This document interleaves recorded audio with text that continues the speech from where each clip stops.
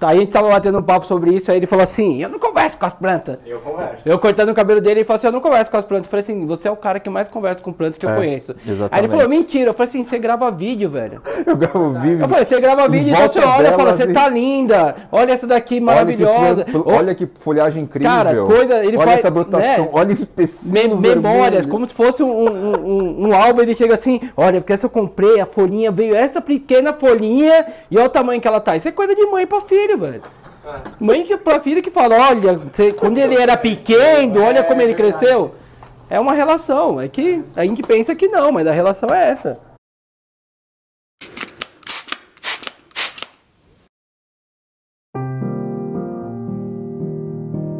E aí, pessoal, queridos colecionadores, tudo bem com vocês? Tô aqui com um amigo, na verdade, amigão. Bom. A gente se conheceu pelo rolê Exato, exato. 4, 5 anos já. 4 a 5 anos, né? Caminhando pra 5 anos já. Caminhando para 5 anos já. O Jefferson é colecionador, né?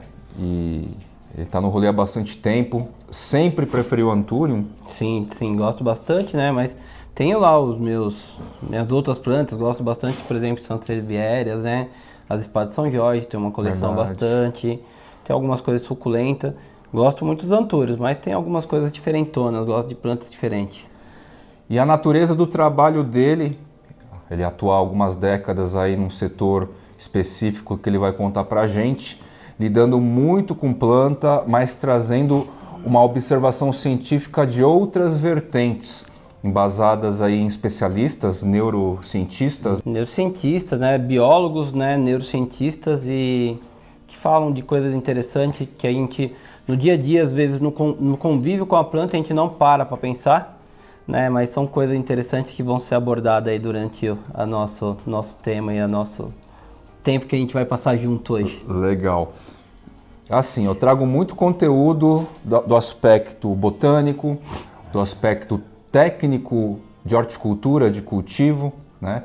E essas têm sido as nossas bases aí há bastante tempo. E existe uma outra vertente aí. A gente vai entendendo com o passar do tempo, a partir de pesquisa, de ciência, que a gente tem então botânica como referencial, a gente tem técnicas de horticultura como referencial e a planta nos responde, as plantas nos respondem a partir de desses valores muito físicos, químicos, mas também existe aí uma relação de intenção estudadas aí por um grupo interessante de cientistas, por vezes polêmicos os temas, mas que a partir de muitas experiências práticas, testes empíricos aí que estão sendo catalogados desde os anos 60, né? Sim, sim, pra mais, né? Até melhorando o que o Fly tá falando aqui, né? Conhecimentos empíricos e científicos, né? Então nós temos aqui, vamos falar o nome de alguns cientistas para vocês, pessoas sérias que já vêm há muitos anos trabalhando com a parte científica para descobrir como que as plantas, as plantas se comunicam, como que elas conversam, se elas emitem som, sim ou não, como que elas convivem com o meio ambiente. Então, nós aqui do rolê das plantas, né, a gente olha muito esse cenário e fala, cara, poxa, interessante, eu, eu, eu domino a minha planta, mas será quem está dominando quem nesse momento, né? Quem está cultivando quem?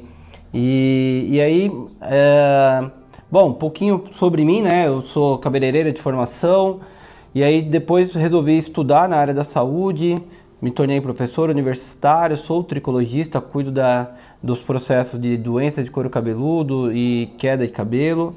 E sou um, um grande entusiasta aí da, da questão da física quântica, da questão energética, né, do conhecimento energético entre o ser humano e o meio onde ele vive.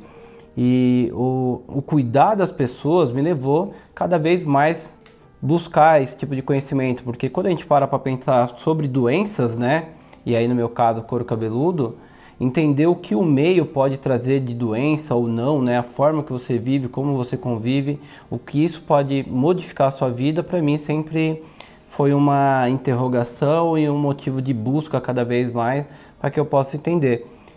E durante muito tempo, nos bate-papo ali junto com o Fly, né? O Fly eu conheci o Fly no começo do rolê e, e aí eu, eu tava por, montando um espaço para trabalhar, eu trabalhava para outras pessoas e estava montando a minha clínica, o meu espaço e queria colocar umas plantas que eu já havia sentido é, em ter planta para ajudar a cuidar de pessoas, né? O meio ambiente cuidando das pessoas. E o meu lado professor, o meu lado estudioso me levou a procurar alguém que conhecesse e falasse de planta de uma forma diferente daquela que eu via no mercado, porque até então nunca tinha tido nenhuma planta, né? Não sabia nem essas questões, né? Tinha lá meus epiprêmios, né? as minhas plantinhas que eu comprei. E aí entrei em contato com o Fly, foi muito interessante. Entrei em contato, achei ele pela rede social. Entrei em contato, mandei meu currículo Lattes para ele, falei, olha, sou professor, sou, disso, sou cabeleireiro, é, vamos trocar experiência, eu corto o teu cabelo, aí e a, é. gente, a gente faz um, uma, uma simbiose aí de, de conhecimento. De maneira bastante casual, só para resumir, ele vem do Sorro, ele foi aluno do Sorro, que é um padrão oriental. Trouxe um padrão oriental de corte de cabelo. E realmente, cortar cabelo japonês ou de orientais é um pouco diferente. O, a textura, a pegada e tudo mais, né? Aí eu decidi, basicamente, me aproximar dele a partir disso e disso... Energeticamente, né? Já que o tema é energia, energeticamente a gente foi ficando junto ali fomos trocando figurinha, conversando. Inclusive ele nem é tão atuante hoje no rolê das plantas, ele, sim, sim. ele observa as coisas acontecendo e tal, mas ele já está com, com um portfólio lá com, com as plantas dele, ele vem, vem cultivando elas mesmas, não tem, com, não tem comprado tanto. Ah, sim, sim, é. A gente, assim como muitos né, no, no início do, do rolê ali, né, acabou adquirindo muitas plantas, trocando, comprando e foi vindo. E assim como muitos, a gente teve, começa a ter problema de espaço, né, para isso. E aí você precisa se dedicar a algumas plantas, né, algumas espécies que você gosta mais, sim ou não. Só que no meio do passeio também, dessa história toda, eu, eu tinha várias plantas e elas ficavam no meu espaço de trabalho, eu conseguia ter. Eu tinha uma média de 180 plantas lá dentro e eu tive que trocar de sala. E essa troca de sala, ela, o prédio que eu fui, eu não consigo ter plantas nesse prédio, é muito mais difícil. Eu tenho uma sala única, na outra tinha salas separadas, mas sempre continuo observando o rolê, como é que tá, o que tá saindo de novo, coisas novas que estão aparecendo. É, não deixou de buscar o conhecimento e as atualizações que tem acontecido hoje no rolê, né? Exato. Essa que é a parte interessante. O conhecimento aí continua. É, o gostar das plantas, né? Eu acho que Uh, aí que a gente, eu sempre aproveito os momentos que eu estou do, do, junto com o Fly, a gente conversa de várias coisas sobre o rolê, sobre várias questões aí relacionadas a isso. E uma delas é também, né, o, e o Fly fala muito nos vídeos dele, colecionador não é só aquele que tem milhões de plantas, né, aquele que tem algumas plantas também, algumas unidades, também se torna um colecionador, também faz parte do rolê. Então é interessante a gente saber aí que, que mesmo hoje eu não adquirindo tanto planta quanto eu adquiria antes, eu ainda continuo atuante e um entusiasta das plantas. É, e o mais importante é esse, o tema da planta e como que elas têm se relacionado com a gente com um olhar um pouco diferente aí. E ele vai trazer um pouco dessas das bases científicas que fundamentam os temas que vão acontecer hoje aqui. Legal, legal. Então, assim, para começar, a gente fala um pouco sobre é, Vou falar alguns nomes para vocês. Qual que é o tema, né? A ideia toda central que a gente vai trazer para vocês aqui. A gente olha a planta muito como uma, um ser, é um ser vivo, é lógico, mas como algo, um objeto, né? Muita gente tem, quando a gente fala desse, do rolê, muita gente comprou muita planta como um objeto, uma decoração. Né? E esqueceu dessa interação que a gente tem com as plantas e tudo mais. E dentro dos bate-papos que eu tenho com o Fly, um deles foi justamente a questão da, de como a planta ela responde ao seu tutor, né? O tutor que eu digo, a pessoa que convive com ela, o meio ambiente onde ela está e como ela transforma o meio ambiente também. Dentro dessa conversa toda, a gente já falava das energias, né? O momento onde o Fly, uh, comunicador e, e, e o Fly colecionador, passou a ter se tornar o Fly agora, né? Pai de plantas, de, de filhotes ali, fazer a parte de híbridos, de mestiços. híbridos, mestiços e vindo afins. E aí a gente nesses bate-papo, né? Ele um dia ele falou assim, cara, eu, eu comecei a pensar nisso e começou a vir um monte de inflorescência, as plantas estão respondendo e aí dentro da minha linha de raciocínio eu falei, cara, é natural, né? Você mudou, modulou o seu pensamento energeticamente você modula todo o pensamento ali e as atitudes das suas plantas. E sempre isso, já tem algum tempo, né? Na verdade, são mais de meses aí que a gente vem falando sobre isso. Mais de um ano, Mas... porque essa ideia de que talvez exista aí algum tipo de conexão com as plantas, talvez uma conexão senciente, Sim. alguma coisa do tipo que não se explique a partir da botânica ou dos assuntos que eu já trouxe aqui, talvez isso exista. E ele traz aqui um conhecimento, devido aos estudos Sim. e à formação de alguns cientistas. Quais são os nomes aí que você pode citar? Tá, okay. Um deles é um que eu tenho comentado com mais frequência, que é o Stefano, Man Stefano Mancuso. Stefano Mancuso, Stefano Mancuso, né? Um italiano neurocientista. Sim, sim, é um pesquisador aí, é um, do, um dos fortes nomes no momento, né? É um cara que trabalha na universidade, é um cara que hoje ele tem um, um ele montou um centro, né, de, de aprendizado com as plantas, né? Quando eu falo centro de aprendizado, porque ele tem as diversas plantas lá, mas a, a pesquisa dele é justamente para entender como que essas plantas elas conversam entre si, como elas modificam, como elas conseguem se adaptar ao meio ambiente e mais do que isso comunicar às outras plantas como que isso acontece e de que forma que isso acontece. Dentro dessa conversa toda com Fly, olha, vamos fazer, vamos falar o vídeo, vamos fazer, vamos trazer esse tipo de conhecimento. Eu falei, cara, eu preciso de nomes científicos para pautar o que a gente está falando. E o Stefano, ou Stefano Mancuso, é um cara aí que, se vocês pesquisarem, vocês vão ver o nome dele muito forte. Ele tem umas obras importantes, né? É... Como chama aquele livro dele, o mais, o mais conhecido? Eu tinha falado que ia trazer mais temas e assuntos desta obra e de outras obras do Stefano. A Revolução das Plantas, Revolução das Plantas é a obra mais conhecida dele aí, tá? E tem estudos aqui muito interessantes. Exato, exato. Então, é um nome forte aí que, que fala sobre essa questão né, do aprendizado das plantas e do convívio dela entre, com, entre elas mesmo e com os demais seres onde ela habita. A gente tem a rede é, Apple, né, é, Apple, desculpa, Apple ou Apple? Hyde Apple. Ah, tá vendo? O cara que manda, manda, manda bem do inglês é outra história, né? Hyde... Hyde... Hyde... Hyde... Hyde Apple. Ai, Vou deixar caramba. na tela o nome vamos dela. Vamos lá, vamos lá. Então, na verdade, essa pesquisadora, o que, que é interessante dela? O que, que ela fez, né? Ela foi uma pesquisadora que ela provou que a planta ela tem a capacidade de aprendizado. Ou seja, ela pegou aquelas plantinhas que, que a gente conhece como dorme-dorme, aquela que fecha a dormideira, a, é, a dormideira no sinal de, de perigo, e ela pegou aquela planta e colocou numa espécie de elevador para simular como se fosse pequenos abalos sísmicos, né? como se ela estivesse trepidando. E o que, que ela fez, né? Ela e a equipe dela, durante algum momento, essa planta ela descia e subia nesse elevador, né? Nesse aparato que eles criaram. No, nos primeiros momentos, né? Isso, né? e nos primeiros momentos ela notou que essas plantas elas fechavam sim as folhas em sinal de perigo. E ao passar da ali entre a quarta ou quinta queda que a planta tinha, ela notou que isso foi diminuindo até que a planta ela parou de fechar, por mais que ela fizesse o aparato, né, a queda da planta ali na, na no, no, aparato que eles criaram. E aí, qual que é a ideia? Né? As pessoas falaram, ah, mas isso aí não é um aprendizado, na verdade você fadigou a planta e ela ficou extremamente cansada e por isso que ela pode fechar as folhas. E ela foi refazendo o teste durante várias vezes, com plantas diferentes, né, com outras mudas, né, da mesma espécie, é lógico, mas com outras mudas para não falar que foi só uma planta. E o mais interessante desse trabalho dela foi que refizeram o teste 29 dias depois e a planta respondeu igualmente.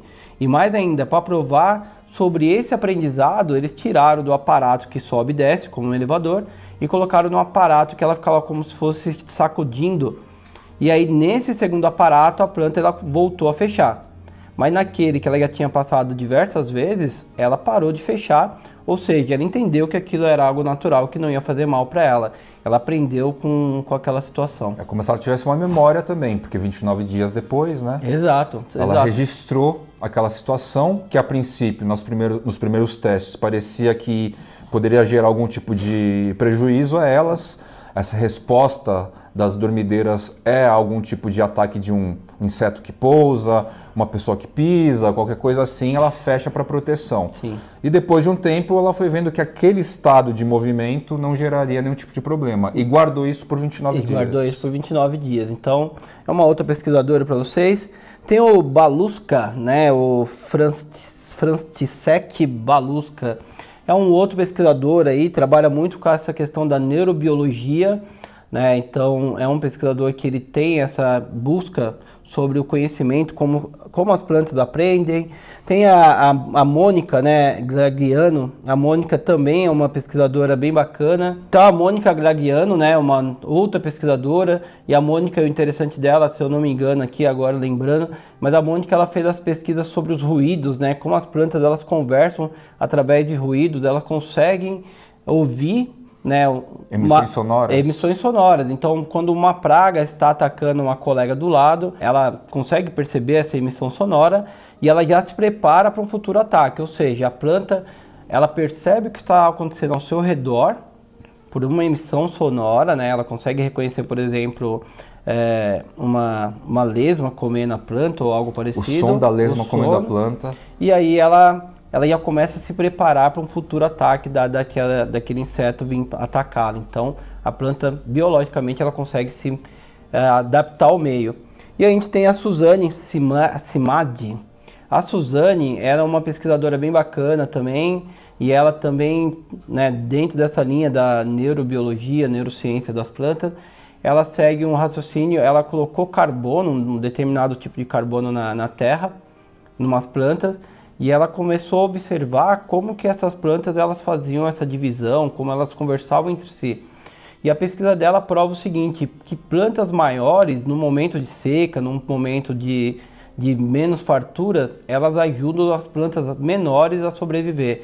Então há uma troca, um mutualismo ali entre elas, uma troca bem interessante de nutrientes, de, de água. Mas não que... todas as plantas, né? Não todas as plantas, né? Algumas né? que para a planta maior parece que vai ser mais interessante de manter. Exato, exato. É sempre pensando assim, né? Lógico, a planta ela vai auxiliar a outra, mas assim como o ser humano, né? Existe um certo interesse ali de sobrevivência, então a planta ela faz de maneira de manter o ecossistema dela favorável para o crescimento dela. Tá, o entorno dela o mais entorno favorável. dela, o uhum. entorno dela. E aí a gente tem mais dois pesquisadores, são autores de livro também, né? Então, A Vida Secreta das, das Plantas, né? Que é do, do Peter e do Christoph. É, e esses dois eles escreveram esse livro sobre a vida secreta das plantas. E esse livro é um livro interessante porque ele fala né, sobre essa condição da, da, da, do conhecimento, do saber, do aprendizado das plantas e é tudo aquilo que foge né, do nosso dia a dia, que a gente olha e acha que não. A planta não aprende, a planta ela está ali e ela é super dependente daquilo que você faz. Mas trouxe aí né, o nome de alguns autores para que vocês possam depois dar uma olhada. O Francis Balusca, é, o interessante dele é que esse cara, é uma das coisas que eu não falei, ele é um dos caras que fala assim que o ser humano ele chega ao ponto de, de ser tão egocêntrico, de, de ignorar tanto as outras espécies, porque ele acha que a planta é incapaz de aprender, né? Então ele é um pesquisador que ele fala que o aprendizado está ali, a planta ela mostra isso todos os dias, mas o ser humano ele se torna cego para isso por conta de olhar somente para si. É, um dos males do antropocentrismo, levando esse assunto para outra esfera aí um pouco, é, filosoficamente falando, o antropocentrismo coloca o ser humano descolado da natureza e, de certa forma, acima, né? Então isso faz até um certo sentido também, filosoficamente falando. Exato. Outra coisa que ele fala muito é a questão, né, por que, que o ser humano faz isso? Porque ele acredita que só quem tem neurônios né, que consegue aprender ou consegue ter essa capacidade de adaptação e aprendizado. E a natureza está aí, né? E as plantas estão aqui há milhares de anos antes do, do primeiro ser humano pisar na face da Terra. Então é, é, é, meio tacanho mesmo do ser humano olhar e falar, cara, não, a planta não é capaz de aprender. Na minha visão, isso é muito errado. E voltado para o lado científico, é, existe uma linha científica aí que diz que a quantidade de cromossomos é que traduz o nível de avanço de evolução de uma espécie. As plantas aí tem plantas aí com um número de cromossomos infinitamente maior do que o ser humano. Exato. Para a gente abrir o nosso bate-papo, o nome de pessoas importantes do meio científico, né, e não empírico. Um lado que eu acho que é importante ressaltar, eu sei que existem alguns colecionadores, alguns horticultores ou até pesquisadores que acham que tudo isso é um pouco como que eu posso dizer, uma pseudociência, tá certo? De qualquer forma, eu acho que é importante trazer informação, né? Porque são estudos realmente realizados. A gente vai falar de um japonês, como que ele chama mesmo? É o Masaru, né? Masaru Emoto. Emoto. Emoto. Emoto. Masaru Emoto, que é aquele cientista que trabalhou os cristais de água, né? Exato. Mas exato. como Fly aqui, a gente tem um lado racional e lógico da coisa muito sedimentado e eu não tenho propriamente medo, insegurança ou aversão a esse tipo de informação. O que é importante é a gente entender que a informação está aí, as pessoas estão aí para fazer o seu próprio filtro, o seu próprio julgamento. E, e quem sabe, porque eu, como um indivíduo aqui colecionador né, de muitas plantas, muitas variedades, já destaquei muitas espécies aí e gêneros da família Arácea, entre outras também. E de repente eu foco a minha intenção e a minha vontade para a produção de híbridos. E, e, nesse, e nessa mesma toada as plantas aqui começam a me entregar inflorescências como muito, nunca antes, até mesmo antes de eu aplicar um sistema de nutrição, o que, que é que responde de certa forma essa lacuna, né? essa realidade assim? E talvez as respostas estejam em partes da ciência que estão aí em construção. Né? Por isso eu acho interessante a gente trazer, não para ficar implantando crenças nas pessoas, mas como referencial e o filtro é teu. Será que as plantas entendem? Será que a gente interage com as nossas plantas? Ou será que o nosso momento com as plantas é só colocar água e olhar para ver se a folha está tá verde, para ver se está secando? O que está acontecendo ali, né? E aí, para fundamentar tudo isso, a gente vai, vai vai passar por vários assuntos, né? O primeiro dele é a questão da física quântica. Então, física quântica raiz. Exato. Que, que mede o infinito mínimo das coisas, não o máximo, ao contrário da astrofísica, né? Perfeito, perfeito. Então a física quântica ela mostra isso, né? Que mais do que o ser completo, nós somos pequenas partículas e essas partículas, de uma forma que o ser humano ainda não entende, elas conversam entre si elas se comunicam, então uh, seres vivos, animados, inanimados, todos esses eles interagem entre si. Eu acho isso uma grande verdade, né? Fato é, quando você olha uma coisa e você tem diversas coisas na tua casa e algumas duram uma vida inteira do mesmo material e algumas acabam uh, deteriorando, né? Acabam estragando mais rápido. E o que, que é isso, né? Da onde explica isso? É a interação sua com aquilo, com aquela coisa que você tem, com aquele ambiente. Nesse caso, a gente vem falando das plantas. Então, a física quântica ela prova, né, essa interação entre as partículas. E aí, o ser humano ele é formado por essas partículas também e cargas energéticas, positivo e negativo, né? Então, quando a gente fala do ser humano como um todo, a gente tem que parar para pensar que a gente não é, é só todos os átomos, todos os átomos, ou seja, tudo é feito de átomo. Exato. Objetos animados e inanimados, seres vivos e uma pedra, é tudo átomo, ou seja, essencialmente somos todos formados das mesmas partículas mínimas com cargas negativas, cargas, cargas elétricas. É, cargas elétricas. Então, é. quando a gente fala em átomo, a gente fala de de prótons, de nêutrons e de elétrons, então a gente fala de cargas positivas e negativas. E o ser humano é formado de cargas positivas e negativas, né? A gente vive através disso. Quando a gente fala de uma célula, por exemplo, lá na membrana plasmática da célula, a gente tem lá uh, as bombas de sódio e potássio, a gente tem toda uma questão de entrada e saída de elementos dentro da célula. Isso se faz por cargas positivas e negativas. Falei recentemente sobre os cátions no sistema de nutrição no substrato, no drench. Os cátions são basicamente, eles atuam basicamente nessa relação de positivo e negativo para segurar esses esses compostos químicos no substrato e não ter dispersão na Ajuda, medida que rega. Exato, ajudar na retenção ali, né, uhum. desses, desses elementos. E aí tem uma pesquisadora, a série ID, é uma pesquisadora que ela vem trabalhando muito, né? Como eu falei, eu sempre vou embasar um pouquinho uh, sobre o que a gente está falando.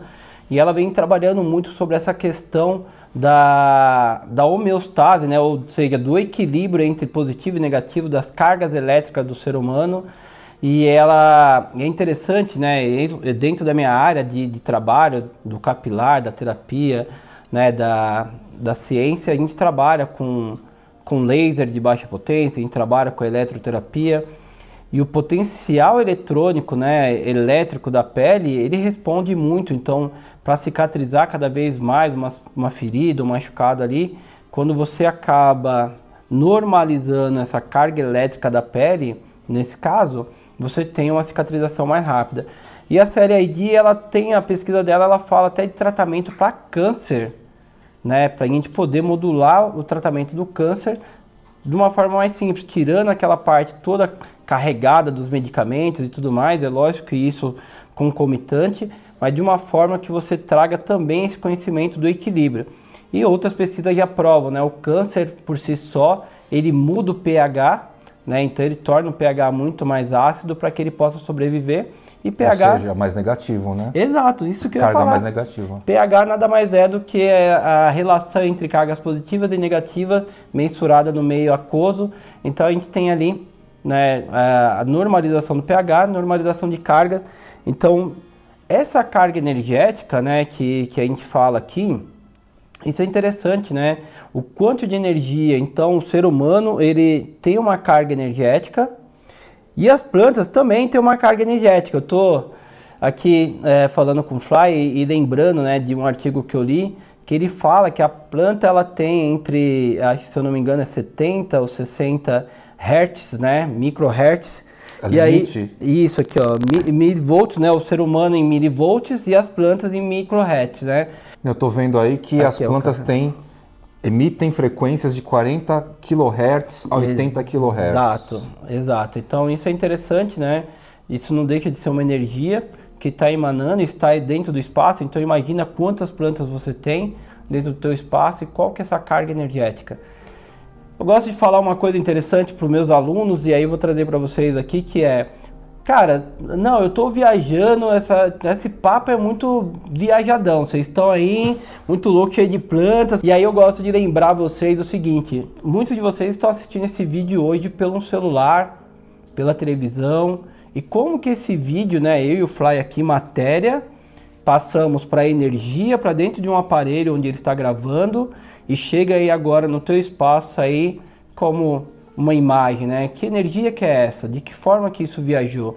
Então não é tão viagem pensar nisso, é que a gente usa energia, né, eletromagnética o dia inteiro e quando alguém se propõe a falar de, de, de seres vivos emanando energia, né, o ser humano por si só emana lá o infravermelho, aí a gente acha, não, puta, mas isso é muito viagem, mas é, vocês vão ver que faz muito sentido o nosso bate-papo. É muito difícil o ser humano entender ainda que somos emissores de energia também, né? Isso que é, esse é um ponto muito ainda pouco explorado na minha visão. É, exato. E, e de cultura mesmo, né? principalmente eu acho que o Ocidente ele tem, ele, ele tem muito mais uma coisa muito mais material, muito mais precisa ter uma coisa muito mais palpável, né? Sim, é oriental, né? Isso Por experiências de vida convivendo com tantos orientais em trabalhos anteriores. Exato, é, eu tenho, tenho essa vivência há muito tempo com ele e o que você falou faz total sentido. E aí, se a gente leva para a área da, da, da saúde, né? E aí, o que eu vou falar agora, por exemplo, está dentro do Manual de Práticas Integrativas do SUS, é aceito como é, tratamento concomitante a outros tratamentos. Então, a gente tem, por exemplo, o caso do reiki, né? Nada mais é do que uma a pessoa emanar uma energia a outra para Faz auxiliar parte no das normativas do SUS. Faz parte das normativas do SUS, está lá no, no, no manual de, de, de práticas, né? Então o SUS aceita como um tratamento, como um todo. Assim como a gente fala né, da fototerapia, fotobiomodulação, que eu no meu dia a dia uso demais, o uso do laser. O laser nada mais é do que uma energia eletromagnética que é luz. Né? Acupuntura É, também. a acupuntura entra muito bem nisso, a eletroterapia. Então, nada mais é do que é, uma energia emanada por um ser humano. E aí, mais do que emissores, né, como o Flávio acabou de falar, nós somos receptores. Então, mais do que emissores, nós somos receptores. Isso é legal dar um caso meu aqui. Diga. Eu, eu pratico exercício. Deixa eu tirar o tango aqui. Eu pratico exercício físico há décadas, há muito tempo, né? E teve um período lá que eu forcei o ciático, Sim. principalmente nessa perna direita, e fiz inúmeros tratamentos, inúmeros tratamentos, né, para tentar curar. Era intermitente, vinha e voltava, Exato. vinha e voltava. Aí teve um belo dia lá que eu naquele período a minha agência compartilhava uma casa com uma clínica médica. O doutor, o chefe da clínica, ele era especialista em, acupuntura. Em acupuntura. Um belo dia, depois do almoço, lá na salinha, lá na cozinha, onde a gente almoçava, eu estava sentado no sofá. Comentei para ele que eu estava com um ciático com esse problema Sim. e tal. Ele falou: dá um minuto aqui. Aí ele foi lá, aplicou uma meia dúzia de agulhas no meu joelho, não tem nada a ver aparentemente, sim, sim, né? É a localização. Legal. Fez uma vez, fez umas três vezes, foi um tratamento que ele resolveu realizar, nunca mais tive problema Nunca mais teve, exato. Nunca mais. Eu estou falando de 15 anos mais ou menos atrás. É, é um conhecimento mais do que milenar, né, esse conhecimento. Então, nós, nós trabalhamos com isso o dia inteiro. O, o complicado é realmente né, a gente parar de racionalizar as coisas e, e, voltar ao princípio, porque nada mais é do que o princípio, né? Falei aqui de fotobiomodulação, mas a gente fala da helioterapia, que os egípcios e os romanos já faziam, que era o sol, que nada mais é do que luz, que nada mais é o que as plantas precisam para metabolizar e fazer o seu processo de crescimento, de fotossíntese. Olhar um pouco para o essencial. Olhar um todo para essencial. Que tem a ver também com a biofilia, que tem a ver com, com os movimentos atuais de... Tem um astrofísico, como que ele chama? O Glazer, Marcelo Glazer, ele escreveu acabar, ele acabou de escrever uma obra aí, a mais atual, que fala exatamente para a gente olhar para a natureza Sim. e louvar a natureza como os nossos ancestrais iniciais faziam, porque os deuses perante os nossos ancestrais originais, que são basicamente os indígenas, a materialização Sim. mais palpável para a gente hoje, eles acreditam em poderes da natureza, o sol, Sim, a lua, a chuva, a mata, a tempestade, enfim. Então, assim, é, existem, existem concatenações de astrofísicos, de neurocientistas. Neurocientistas, né, que estão trabalhando sobre isso. Então isso tudo é interessante, né? Dentro disso, né? Quem tava falando de emanar energia, cara, quantos de vocês, assim como eu e o Fly, em algum momento não ligou para um parente, para um amigo, não pensou em alguém, né? E falou, cara, poxa, faz tempo que eu não penso nessa pessoa, né? E aí a pessoa, dois, três dias depois, né? Como se fosse mágica, aquela, aquele cartazinho do, do poste, traga a pessoa amada em três dias. Não, nesse caso não é a pessoa amada em três dias, mas você pensa no amigo, numa pessoa que você gostaria, sim ou não, amigo, mas e aí você recebe uma notícia dessa. Tem um outro exemplo para dar. Foi. Tem uma outra referência para passar em relação a isso que o Jefferson acabou de falar. Eu tenho um parente muito próximo hospitalizado exatamente agora, né? Por isso que eu atrasei algumas demandas, inclusive de fly. E esse processo já se perdura aí em torno de um ano, mais ou menos. Volta para o hospital, sai do hospital. E o meu primo, nessas intercorrências, entra em contato, visita e tudo mais. E fazia alguns meses que ele não nos procurava, né, para saber como que estavam as coisas com esse parente. E exatamente no dia que eu estou acompanhando a pessoa, meu primo manda mensagem, né, depois de meses. Por quê? É, é mera coincidência a data, o momento, né? A cronologia, né? É. E, e quantos de nós, né, em algum momento a gente não está passando por uma situação, mais ou menos, né, não seu caso, mas poderia ser, e aí você liga para alguém e fala, cara, faz uma oração por mim, faz uma prece, faz um, né, um pensamento positivo. E aí o que faz então a gente, né, pensar, né, vamos dizer que você manda uma notícia para alguém lá no norte, nordeste, em outro país, e essa pessoa recebeu lá, né, qual que, que tipo de transmissão é essa? Porque não é Wi-Fi, né? Não é Bluetooth. Então, uhum. que transmissão é essa, né? Que faz essa conexão entre pessoas, né? Independente da distância, da idade. É, às vezes você precisa, eu mesmo, vira e mexe, eu preciso de alguma coisa, mãe. Olha, estou no momento aqui, estou resolvendo alguma coisa, faz a tua oração aí. Então, o que faz o ser humano em horas acreditar que isso é possível, mas quando às vezes a gente traz um assunto né, que não está nessa esfera, nesse momento, né, vamos falar de planta, é, de pessoa. Normalmente a gente trata esse tema como coincidência, ocasionalidade, né? Exato, exato. É, é, é, é faz parte daquela história, né? O quanto que para mim é favorável. Se nesse momento é favorável, então não, nesse momento aconteceu. Se não, se é o do outro, não, isso, é, isso não existe, isso é mentira. Mas bom, acabamos de, de dar esse, essa fundamentar mais aí o que a gente está falando. E aí existe algo, né, que é o estado do flow, né? Isso todos os encontros que eu tenho com o Fly a gente conversa sobre isso. E ele é um dos caras que eu, que eu sempre falo que ele consegue estar muito centrado nesse estado de flow.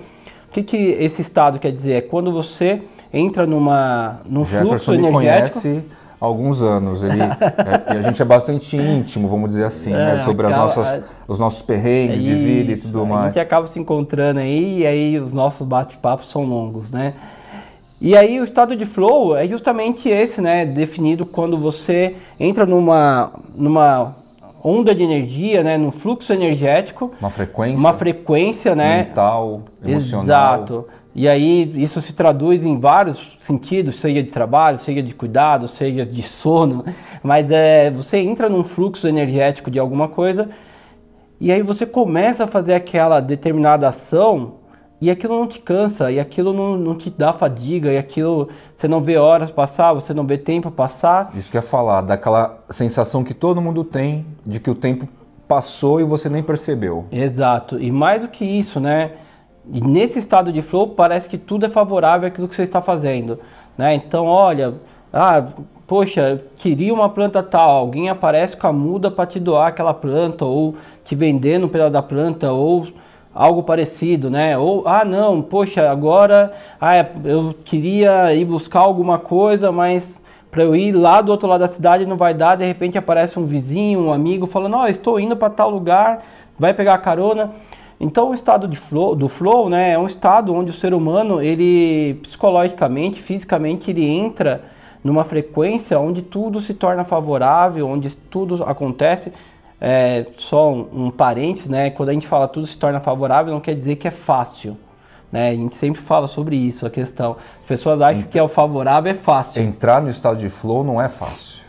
E, e mesmo quando você está lá, não é que as coisas vão ser fáceis para você. É que vai, basta ficar sentado que uma ligação de alguém querendo te emprestar dinheiro vai acontecer. É, mas é... O, o, estado do flow ele é interessante porque, na verdade, então a gente pode traduzir também que é um estado onde mentalmente você está mais conectado às coisas que você está fazendo. Então, o que está ao seu redor, você tem uma, uma sensibilidade maior para você captar aquilo que está ao seu redor e dessa forma você tirar o melhor de cada coisa. Então, você tem um olhar mais apurado aquilo que vai favorecer o que você está fazendo. É algo como uma super concentração aqui. Exato, né? exato. E aí, como eu estava falando, né, o Fly ele é um cara que eu vejo muito nessa é, concentrado, né, que ele consegue é, é, ele consegue assimilar e entrar no estado de flow de uma forma é, mais, mais, mais, como eu posso dizer aqui? Mais frequente. Com mais frequência. Na verdade, ele consegue administrar o momento que ele vai entrar, né, dessa concentração. E aí, o que, que, é interessante? Quando ele mudou um pouco, né? Vocês que acompanham o canal pode ver, ele vai mudando de tempo em tempo. O tema sempre são plantas, são araces, muito antúrio, né? E ou não, mas em cada momento que foi mudando, ele se manteve íntegro à, à, à base dele, aos princípios, valores, aos valores. Isso é interessantíssimo falar. Mas além disso, em cada momento que ele flutuou um pouquinho dentro do assunto, as coisas começaram a, a se modificar.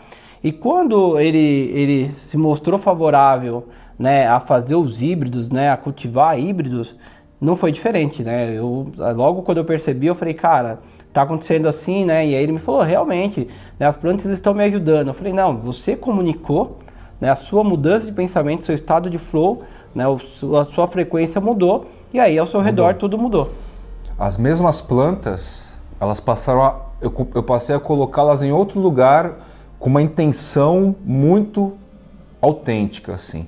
Eu queria que elas começassem a florescer. Eu eu desejava, eu quase que pedia para que isso acontecesse. Não falando, por favor, plantinha, sim, sim, não é meu estilo. Por favor, plantinha, dá inflorescência para mim. Não, não. Eu chegava perto e a, a, a vontade da inflorescência está emanando a todo momento, para falar a verdade. Exato, então isso é quântico, né? Isso é energético, né? O início da nossa conversa, isso é energético. E aí, né, junto com isso a gente pensa, por exemplo, ah, poxa, mas dá outros exemplos. Pandemia, as pessoas foram parar para dentro da tua casa e o que, que as pessoas levaram para dentro da casa? Já foi muito falado isso, plantas, né, energeticamente uma troca muito muito positiva, né? Voltar à natureza, né? Buscar, né? Muitas pessoas ali, na verdade, buscaram se defender com a natureza. Olha, vou colocar plantas aqui e aí inconscientemente, não, agora é mais natural. Então, se é mais natural, é mais longe do doente, é mais longe da doença, não. E aí colocar as plantas lá. Outra coisa, né, dentro desse princípio é, poxa, né, o Fly acabou de fazer aqui, ah, não é o meu, o meu dia a dia falar com as plantas, é, né? Não é o meu estilo. Não né? é o meu estilo. E a gente sabe que a, a, a, a comunicação ela não é só verbal. A comunicação não é só verbal, não necessariamente. Apesar de eu achar que o Fly fala muito com as plantas, né? Eu acho que vocês é, vão esse concordar. Foi um esse foi um fato interessante, porque a gente estava lá conversando, ele estava cortando meu cabelo e não sei o quê. Aí ele começou a dar esse exemplo das, de um monte de pessoa aí que troca ideia, bom dia, plantinha, Dos como diálogos. você está linda e tal. É uma forma, essa forma não é minha. E ele foi dando exemplo desse tipo, né? E eu falei, eu não converso com as plantas assim. Aí ele parou Começou a conter uma risada, respirou e o que, que você falou? Não, eu falei que ele é o cara que mais conversa com plantas, né? Porque diariamente, aí, a todo momento ele tá gravando. Foi uma reação assim, pô, Fly, para! Você, eu tenho certeza, eu posso falar com isso com tranquilidade. Você é uma das pessoas que mais conversa com as plantas. Eu falei, como assim eu converso? Aí ele falou, a cada episódio, você está você tá cercado delas. Você está falando do pecíolo delas, está falando da folhinha que estava desse tamanho, que ficou desse jeito. Tá falando, você está conversando e trocando uma ideia e enaltecendo cada indivíduo que você mostra na tela de um jeito assim que, que não, não, ninguém Exato. faz é isso. É, um álbum de família, né? Podem perceber que ele pega lá a plantinha e fala: olha, ela chegou para mim com essa folhinha, agora tá com essa folha maior, como uma mãe falando do filho, né? Olha, olha como meu filho cresceu.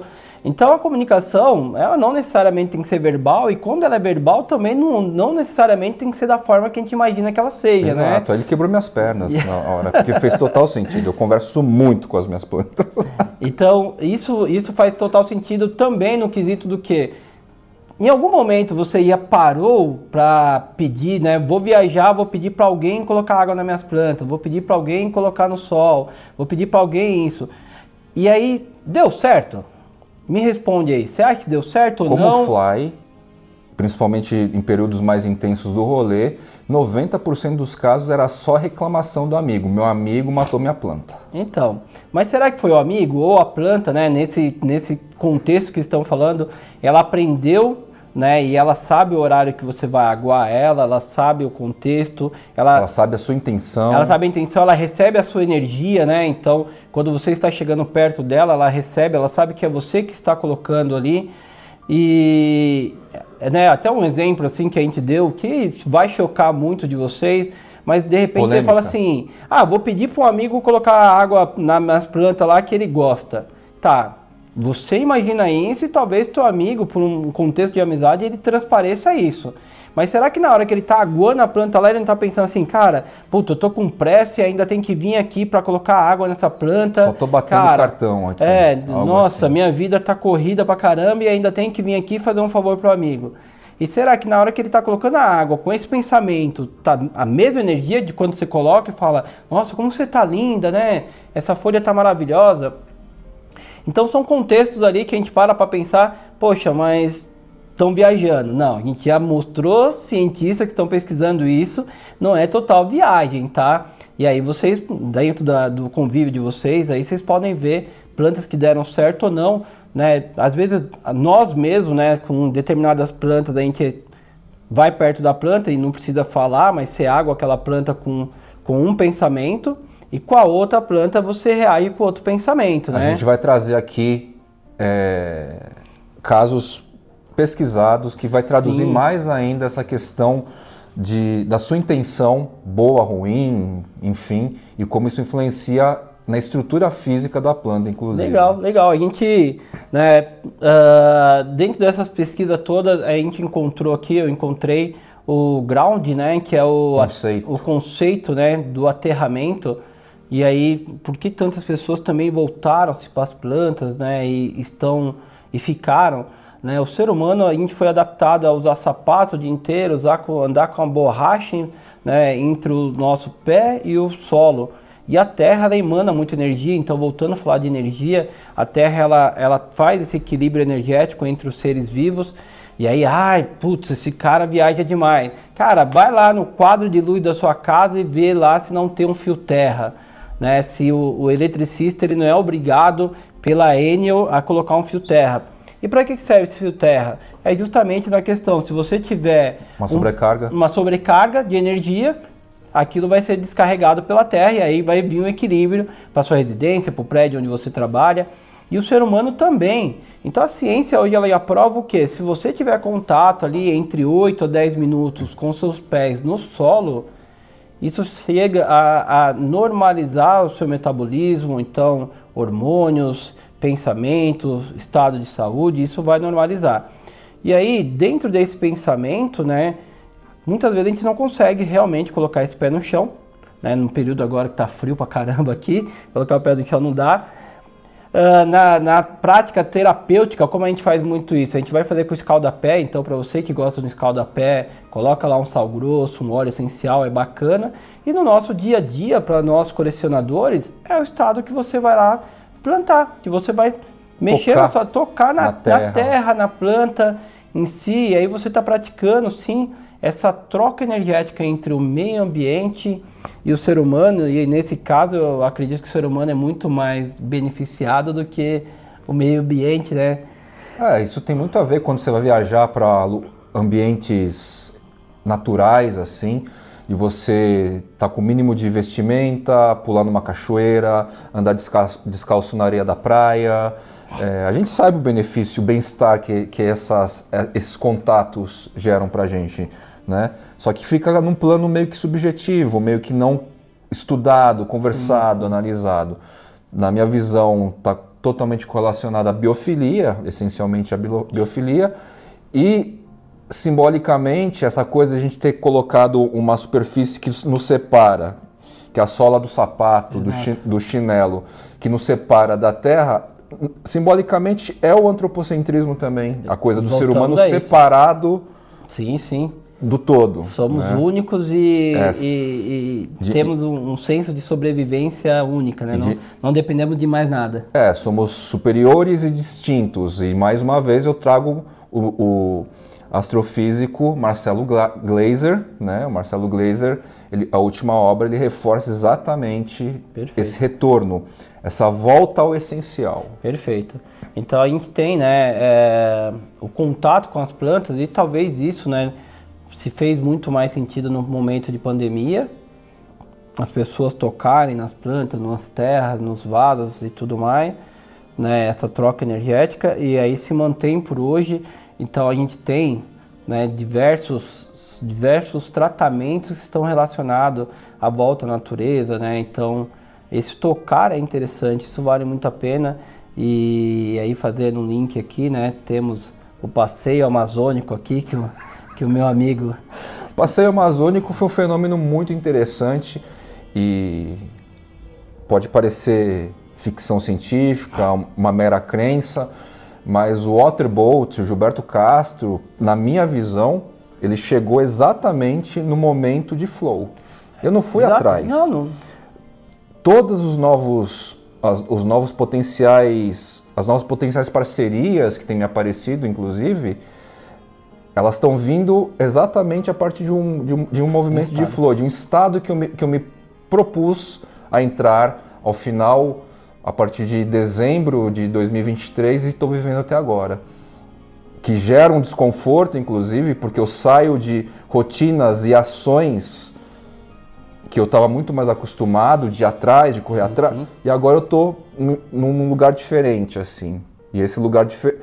Estou me acostumando com essa insegurança de estar nesse lugar, mas nesse lugar que eu me encontro hoje, as coisas estão vindo de formas diferentes.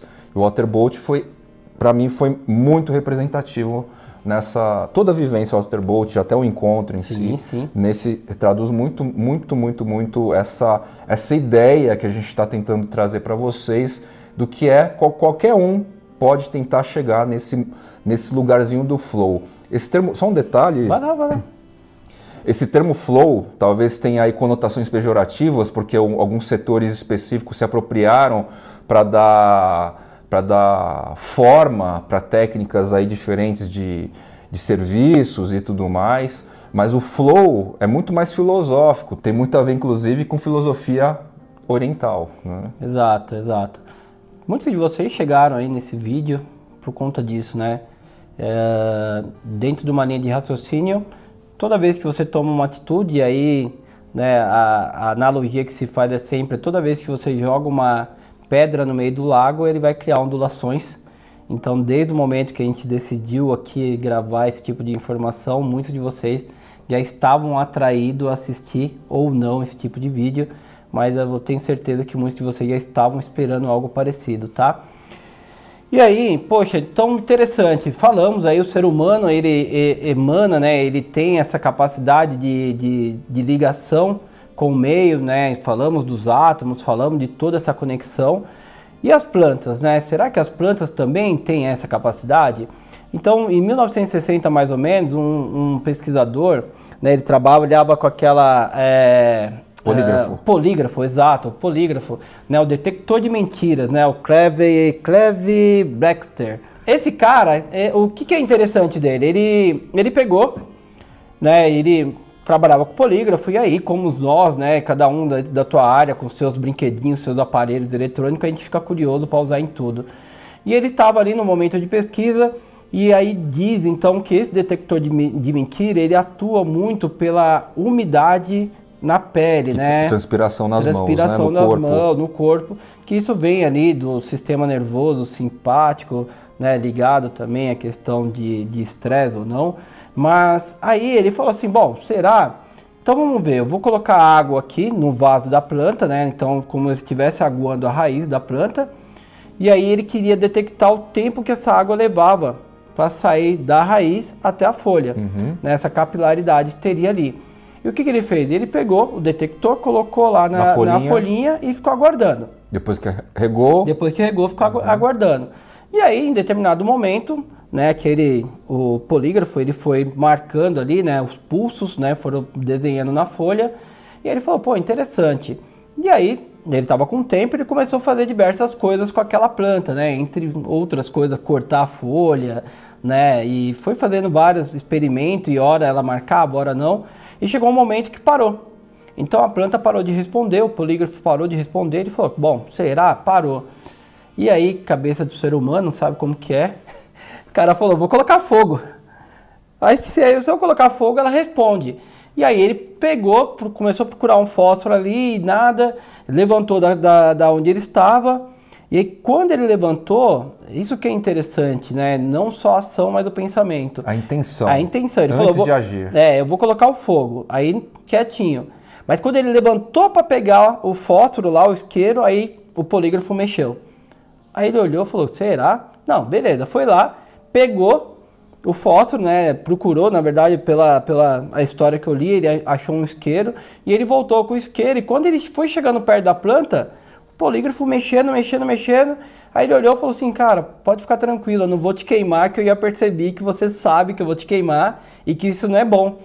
Então, é, esse pesquisador, ele começou, a partir daquele momento, ele provou, né, ou ele começou a dizer que as plantas elas tinham essa capacidade de conexão, de sinapse, de sinapse não, de conexão de... Leitura da intenção. Da intenção.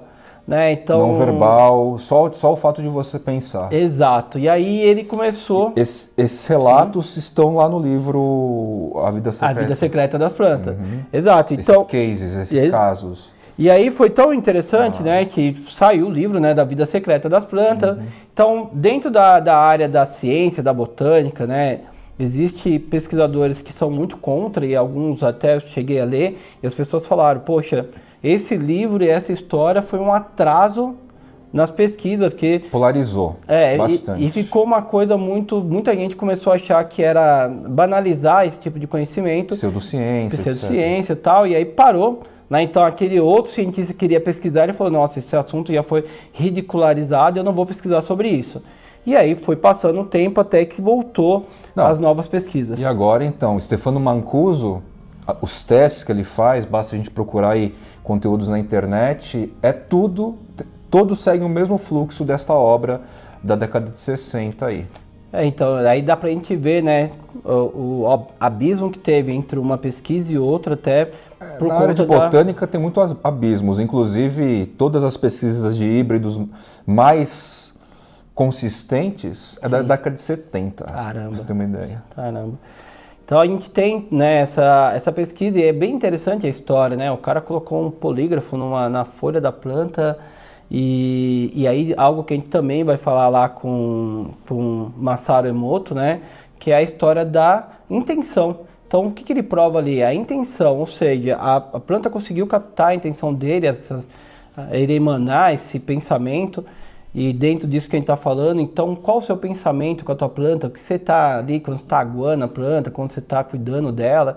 Em que estado que você está e o que, que você está passando? Porque muitos dos nossos colegas falam, ah, é porque ai, a minha mão é podre, eu só mato planta. Né? Eu não consigo que uma planta viva. Dedo verde é. versus mão podre. Mas se você já compra uma planta e já falando que você vai matar ela, já ficou complicado a coisa. Pode ser que complicado. seja complicado. E aí a gente é. vai trazer mais alguns estudos aí que dizem que se você pensar assim, a chance de você perder a planta é muito grande. Exato. Aí tem um, artigo aqui bem bacana que ele fala sobre a emissão sonora das plantas, né? Ele tem um nome em inglês aqui, se quiser falar aí, Fly, esse aqui.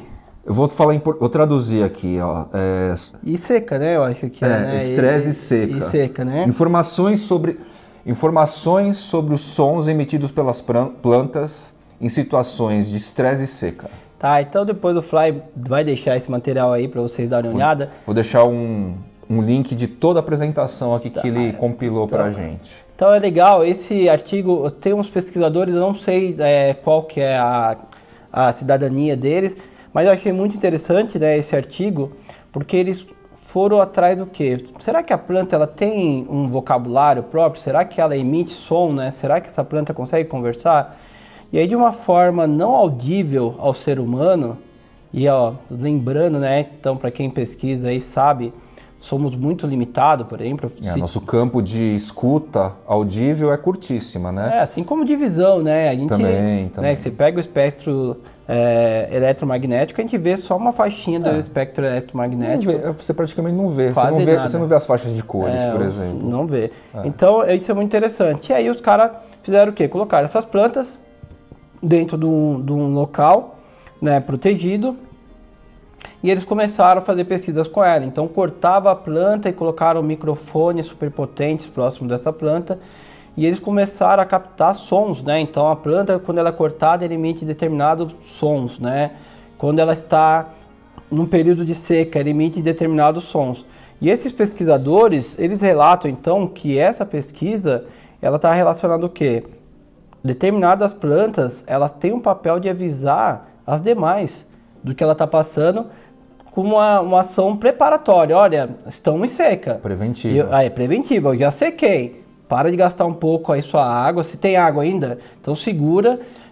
E as demais plantas, elas começam a se adaptar a partir do momento que elas conseguem captar esse som.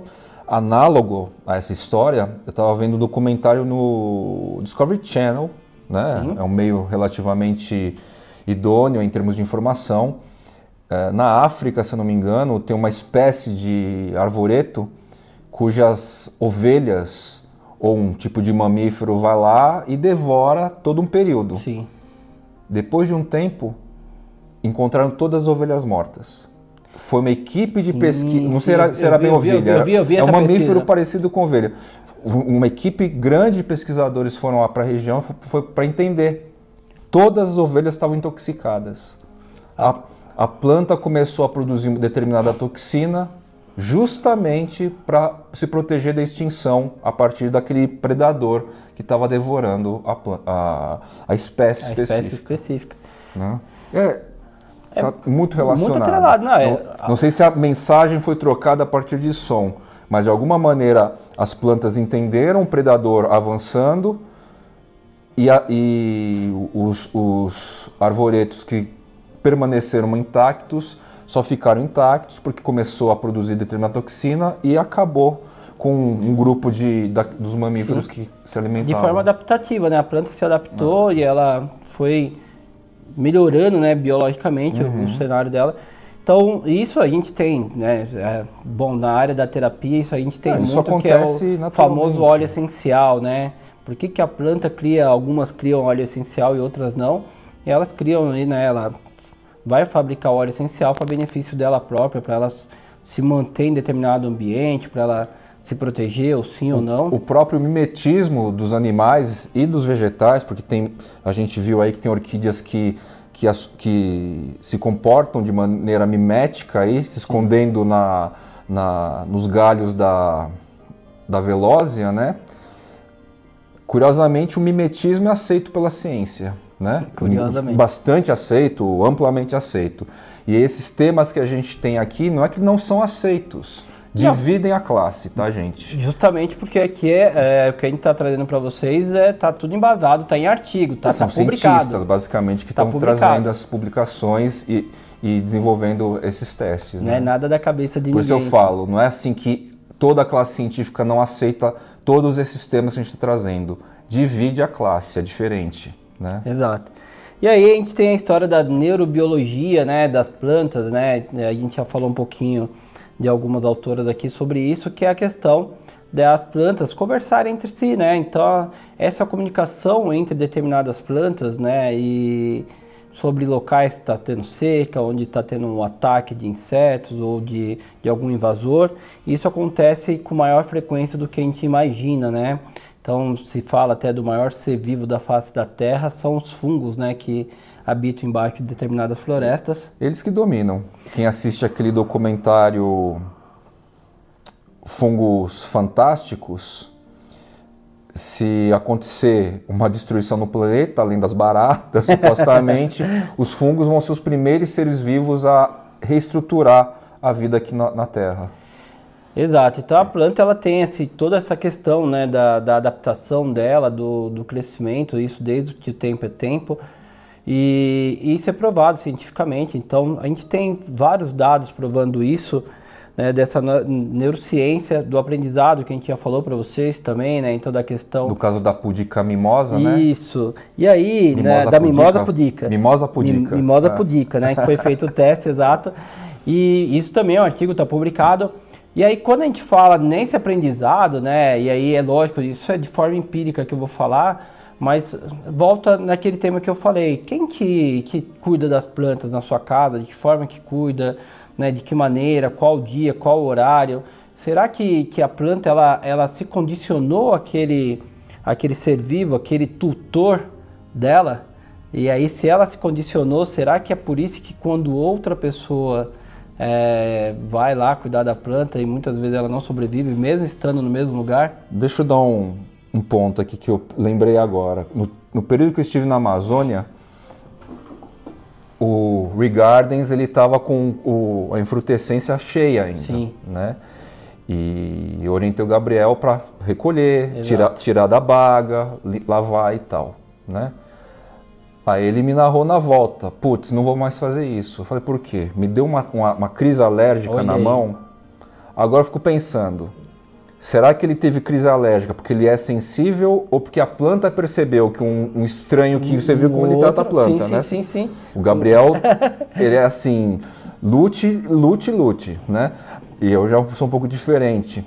Aí, será que ela, nesse período, não resolveu produzir mais oxalato de cálcio, sim, que é exatamente sim, sim, o que dá o efeito de. Cáustico, de, né? Ali de é, alergênico, né? No, da, poderia Pode ser um ser. teste para ser feito. Poderia né? ser um teste. Ou então. seja, trazer intenção numa próxima infrutescência, que é o Gabriel que vai recolher, só que eu recolho para ver se, se eu passo a ter alergia, porque eu nunca exato, tive alergia exato. e já fiz coletas É, exato. Então, pode ser que sim, pode ser que não, uhum. né? Mas é, é, exato, é isso, né? É, então, isso, a planta, né? né? Quem, quem diz que ela não aprendeu né, a ser o seu, seu, sua planta de estimação, né? E, e a gente sabe, né? É, é, é, engraçado quando você fala sobre isso, porque faz a gente pensar numa outra situação. As pessoas podem pensar, ah, mas isso não existe.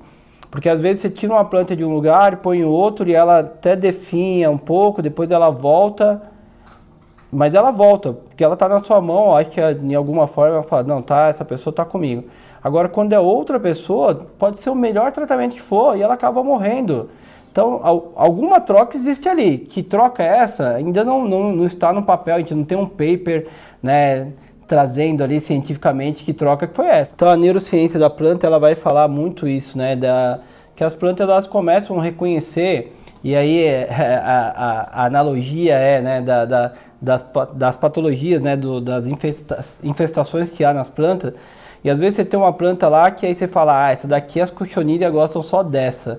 Mas por que será que só aquela espécie ou só aquela planta dentro da tua casa, às vezes a mesma espécie na casa de outra pessoa não pega cochonilha? mas dentro da tua casa pega. E aí a gente faz uma analogia que é, por que será que só o seu dedo do meio lá no pé direito que tem que tem micose? Aí você vai no médico e ele fala assim, ó, isso aqui, essa micose, ela, ela é, é brava, isso aqui não toma cuidado que ela vai pegar em todo mundo. Aí você fala, não, doutor, eu tenho ela há 30 anos nesse dedo. Então, quer dizer, é o dedo do meio ali, você tem mais dois dedos do lado, não pegaram a micose, né? A pessoa que você deita, que você se relaciona, não pegou a micose, ninguém mais pegou a micose, só aquele dedo. Mas o médico, ele vai falar, olha, não, cuidado isso aqui, se pegar nos outros dedos, você não trata mais. E aí você trata, trata, trata e não resolve. Então a mesma coisa acontece. Às vezes você tem uma planta que ela tá ali, que alguma energia funciona nela, que ela acaba sendo aquela vítima, né, de, de mais cochonilha, Ou, de mais vezes ataques. a própria intenção, porque eu fico pensando, um, você me trouxe, eu vejo outros exemplos com, com seguidores, com colecionadores que me recorrem. Isso aqui.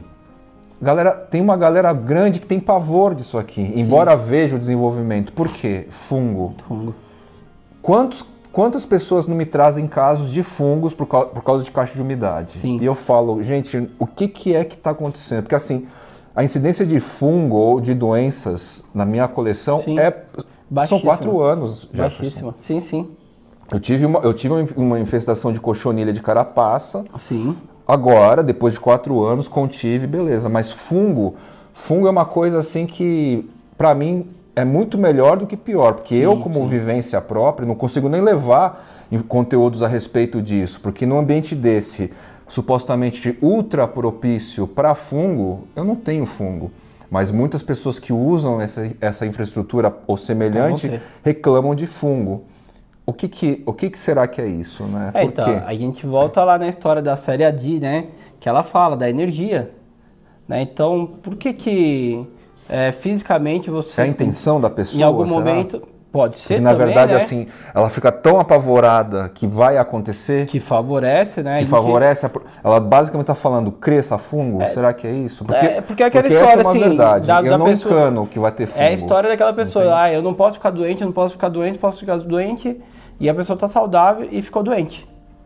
Né? Então, somatizou de uma certa forma que ela acabou ficando, né? A gente entrega energia para aquilo e pode ser que sim favoreça, né? Esse lado do psicossomático também divide bastante a classe, né? Sim, mas a gente acaba, né? Isso é uma verdade, todo mundo sabe disso, né? Eu acredito isso muito. É, esse é um fato simples, né? A pessoa é. que fala, ah, é porque eu carrego a minha casa nas minhas costas e começo a andar curvo. Cara, ah, porque apareceu uma hérnia de disco, eu tô com uma dor nas costas, não sei de onde veio. Mas toda vez que você conversa com alguém, você fala, ah, é porque eu tô com o peso do mundo nas minhas costas, carrega a casa, minha casa nas minhas costas. Os problemas modernos de insônia. Eu conheço muita gente que não dorme. Sim. Praticamente não dorme. Eu também. Da, da, tem tem sono, um sono leve, pontual e fracionado durante a noite. Sim, sim. É. Mas as pessoas vão dizer, né, que também a questão de, de dessa sensibilidade às patologias das doenças tem a ver com nutrição, também concordo que tem a ver com a parte Tem um lado físico lado inegável, físico-químico é, inegável, né? Eu também concordo com isso. Ou seja, o, o, sistema de nutrição, sim, sim. com é, certeza tem um, um, um, Eu acho, e além disso, né, a gente vai falar um pouquinho mais na frente, a questão das plantas, né?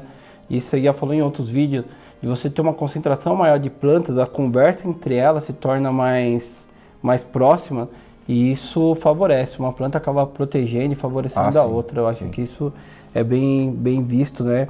Então, essa parte da neurociência que fala, né, da, da, da interação da planta com o meio, no local que ela está.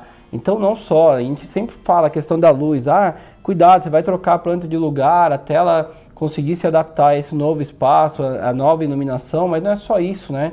O que mais está ali no, ao, é, ao, redor. ao redor?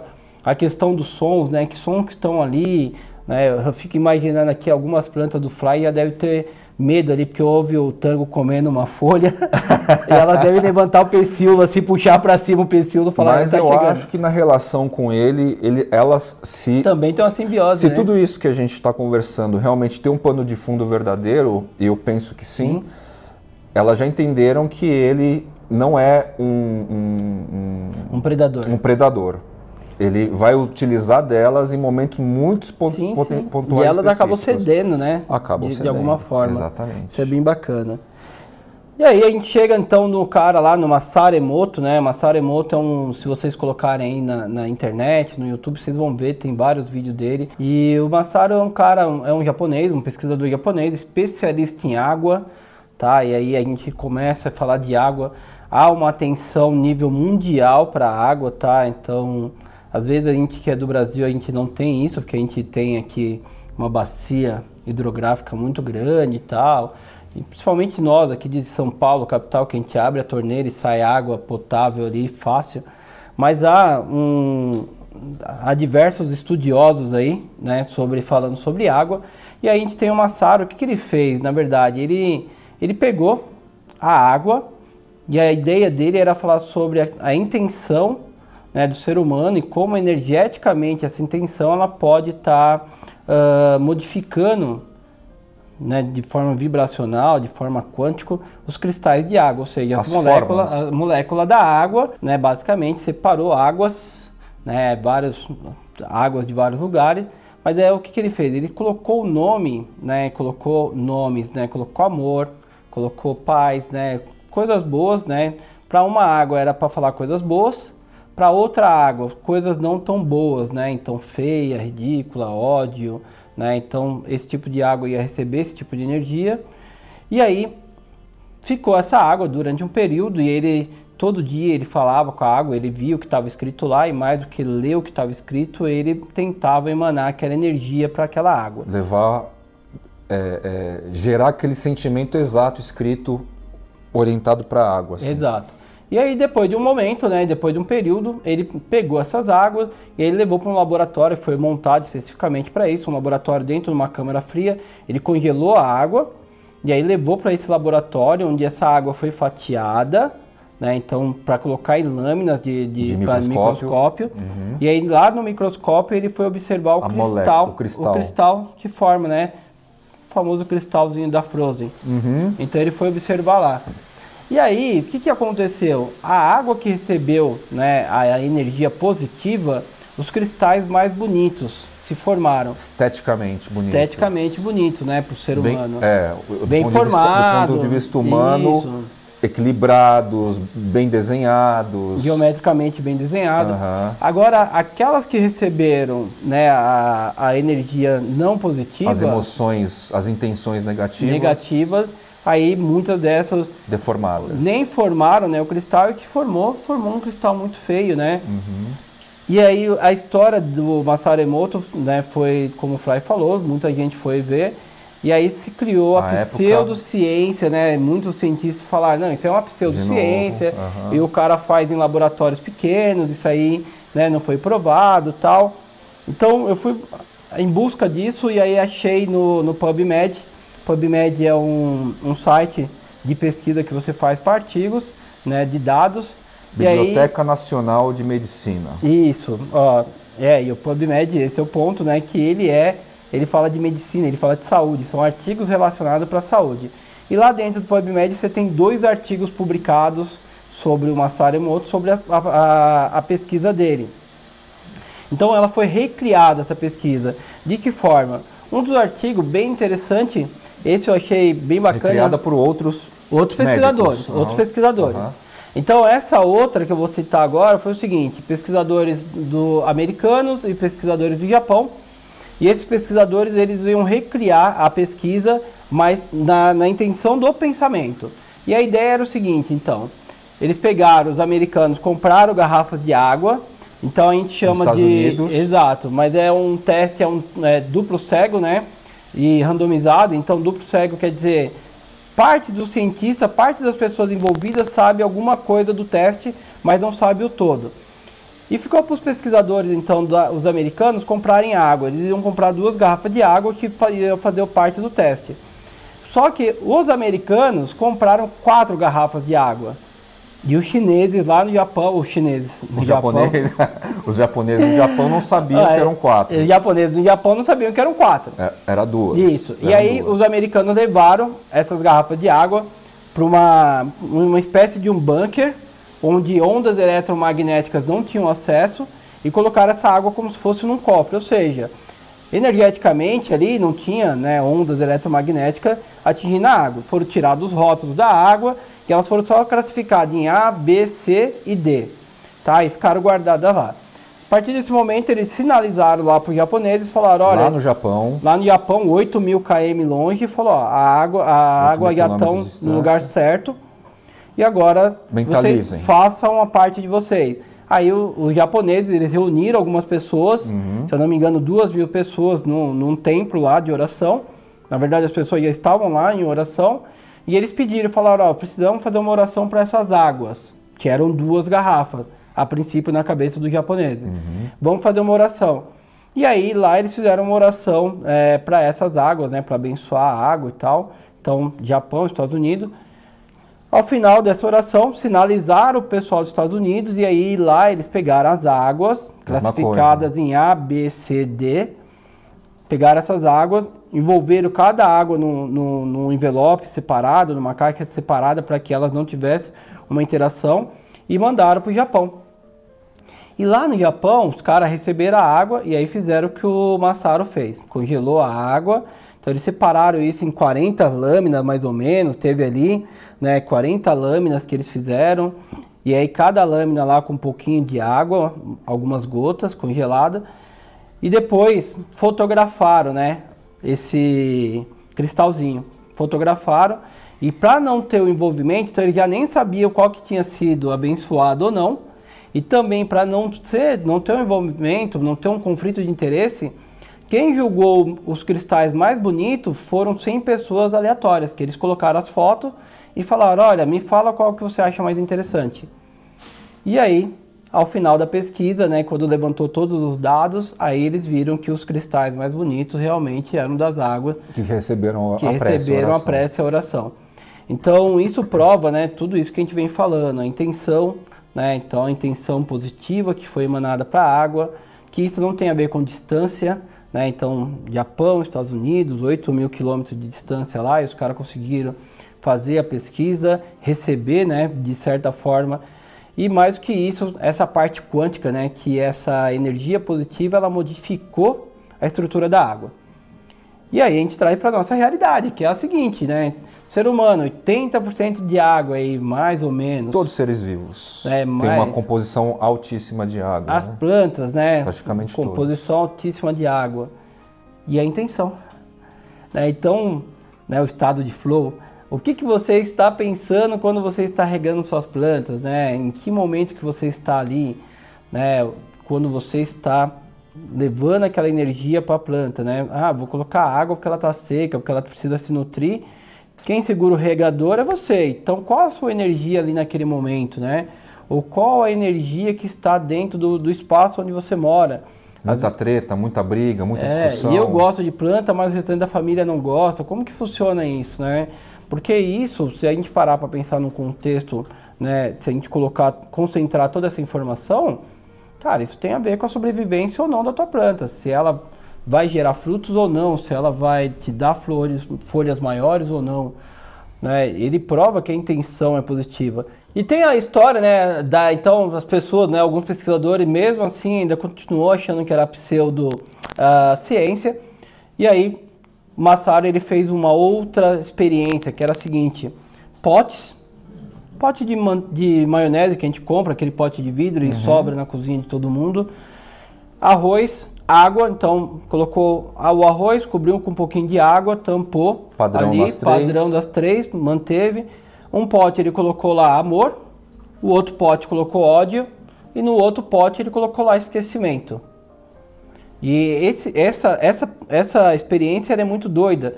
Né? Ela foi replicada né, dentro daqui, uh, em Curitiba, no Brasil. Tem um artigo, tem uma reportagem falando sobre isso. Uma professora de educação física para os alunos notou que os alunos, né, daquela coisa do bullying, um xingava o outro, um falava mal do outro. E ela falou: Olha, sabe a importância da palavra que você está falando com teu amigo? Não, professora, tal, então vamos fazer essa experiência. Um pote amor, um pote ódio. Ela não colocou uhum. o esquecimento, então um pote positivo, um negativo. E aí as crianças, diariamente, do, acho que se eu não me engano, 30 dias, um mês ali, diariamente essas crianças, durante a aula, elas passavam no pote, amor falava amor e ódio, né, palavras ruins, elas falavam o que elas quisessem ali. E o Massaro também fez. E o que, que é interessante? A palavra, né? O Massaro pote, fez antes, é, né? ele fez antes, né? E ela, é, essa é, professora ela no Brasil, replicou, ela replicou, replicou exato. Tá. O que, que é interessante? O potinho lá do arroz amor, palavras positivas. Né? O Massaro ele fala quando ele abriu o pote, emanou um cheiro gostoso, meio adocicado, um cheiro gostoso que ela estava fermentando. Uhum. O arroz estava fermentando. Uhum. Nitidamente no potezinho lá que era da do ódio, né, da palavra ruim, começou a criar um bolor. Ela preto. começou a criar um bolor preto, apodrecer. E aí o mais interessante dessa pesquisa que foi o pote do esquecimento, né? O pote da, do, do chega para lá, né? Do, do, do aquele que você não dá atenção. Indiferença. Indiferença, a palavra é essa, indiferença. Uhum. Esse pote da indiferença também começou a criar bolor. E aí nesse contexto todo a gente para para pensar, quantos de nós não comprou uma planta por comprar? Né? Ah, eu gosto muito de antúrio, mas ah, vou comprar uma suculenta porque eu achei bonita. E aí, né, você vai lá, conversa com todas elas, bate um papo, água, fala que tá bonita, e a suculenta ficou ali, né, sobrevivendo, né, como a gente fala, ela tá sobrevivendo. Realmente, ela tá sobrevivendo, ela tá esquecida, né? Então, é, eu levo isso para minhas plantas, né? O quanto que às vezes, na, dentro de do, do estado de rotina que nós temos, você esquece você esquece. Então, é lógico que o cara que começa a dar a atenção, isso vai bem. E dentro desse contexto você pode pensar, ah, mas vou automatizar o meu sistema, né? Igual o, o cara lá que tem a estufa para revenda. Né? E muitos de nós às vezes faz isso e a planta também morre, né? Porque não, não tem intenção. Qual que é a intenção? Então o Massaro ele prova nessa pesquisa dele toda que a intenção é muito importante. Né? Se é uma intenção de indiferença, de ódio ou de amor, que é o que eu acho que todos nós temos aqui, né? essa intenção de, de amor. Interessante, interessante. Realmente eu vejo que essa pesquisa do Massaro, eu lembro, faz uns 10, 15 anos e realmente gerou um, um, uma conversa entre, entre as pessoas, muita gente ficou sabendo disso, né? Pelo menos no meu entorno na época. Sim.